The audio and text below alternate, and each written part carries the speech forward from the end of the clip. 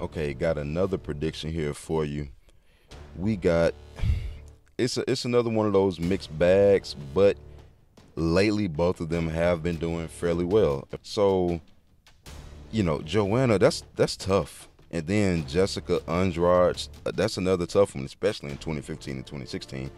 Then you got Danielle Taylor, who ironically was knocked out brutally by Emily Ducote. I think that's how you say her name, or Emily Ducote. I'm gonna have to look into that. But is currently on a win streak against Lupita and Carolina. She, she's not necessarily great in any area. She's kind of good enough and very tough and durable, and it kind of plays into her hand. Now over here we got Emily. 11 wins, six losses. Now, if you take a look, she was in Bellator for a minute, getting some experience. She started off on a two-fight win streak, actually, lost one, and then won another, well, two more. So she was she was four and one. But then something happened here. She ended up losing three in a row. Had to move on, get some more experience, get some more fights. Last loss was in 2019, split decision, and then she started winning. And she started winning by KO.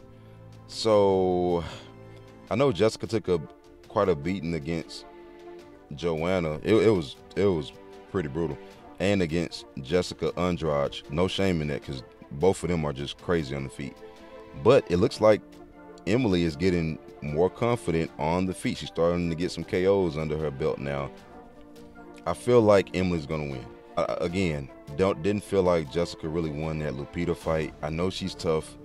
I know she's been around for a long time, but Emily's got some momentum.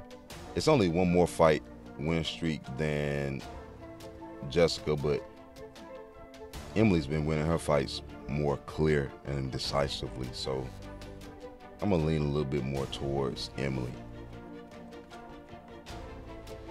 And she's been putting people away with the hands, and that's you know good good win by beating Carolina, uh, Carolina by submission, but the fight gonna start on the feet, and I think Emily's gonna have the advantage there, and she's gonna either put her, she's gonna put Jessica away there or take a decision.